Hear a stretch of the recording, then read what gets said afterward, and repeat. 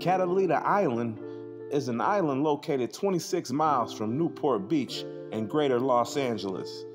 It's a popular tourist attraction which attracts millions of people per year. Catalina was originally inhabited and used by many different Southern California native tribes, including the Tongva, who called the island Pimu.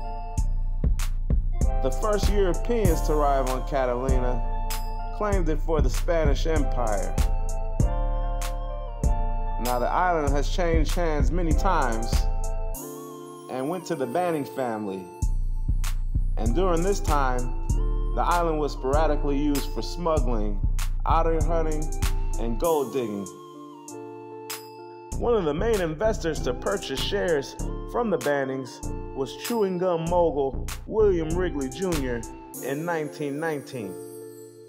Wrigley bought out nearly every shareholder until he owned controlling interests in the Santa Catalina Island Company.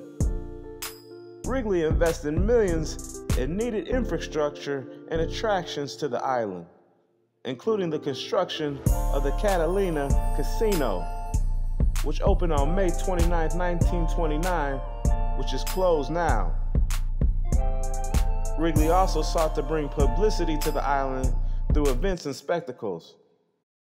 Starting in 1921, the beloved Chicago Cubs, also owned by Wrigley, used the island for team spring training.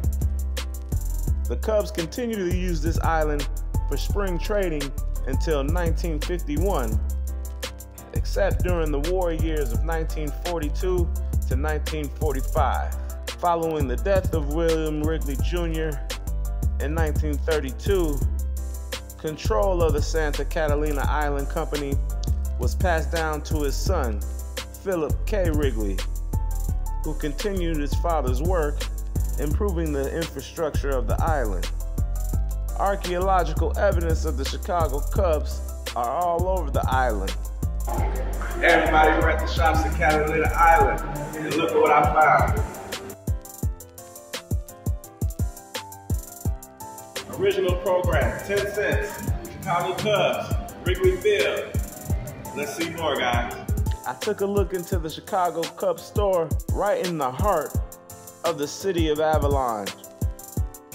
We're at the Cubs shop here. Look.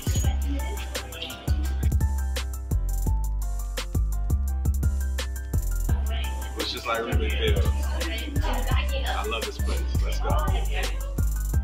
We took a long three mile walk up to the Wrigley Botanical Gardens and Memorial, which is nestled at the top of a hill. It's a sight to see as you have to walk up some long, windy stairs.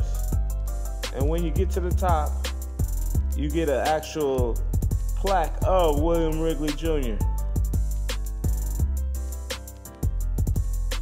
And here it is, guys the Wrigley Memorial. And here we are, we're inside. Look at all this architecture. Beautiful.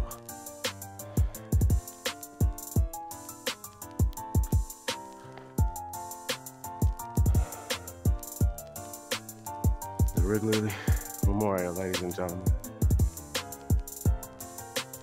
Billy Burgess spent 10 preseasons on Catalina and describes it as a great place to train.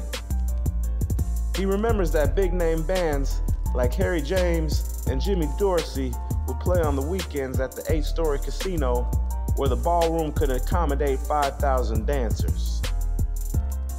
The Cubs would import girls from the mainland to provide partners for the dances, although wives and families were welcome on the island and often accompanied the players. The Cubs' last season on the island was 1951. A spell of bad weather, including a snowstorm, may have played a role in convincing the team to move spring operations to Mesa, Arizona. Only a plaque noting the location remains now on the grounds of what is currently the Catalina Island Country Club. Though its clubhouse is the same structure that Wrigley built for the Cubs. I thoroughly enjoyed Catalina Island. It's definitely one of the most beautiful places I have been, and I recommend it to all you tourists and travelers out there. And especially if you're a Cubs fan, you can get a little piece of history. Thanks for watching. Peace out.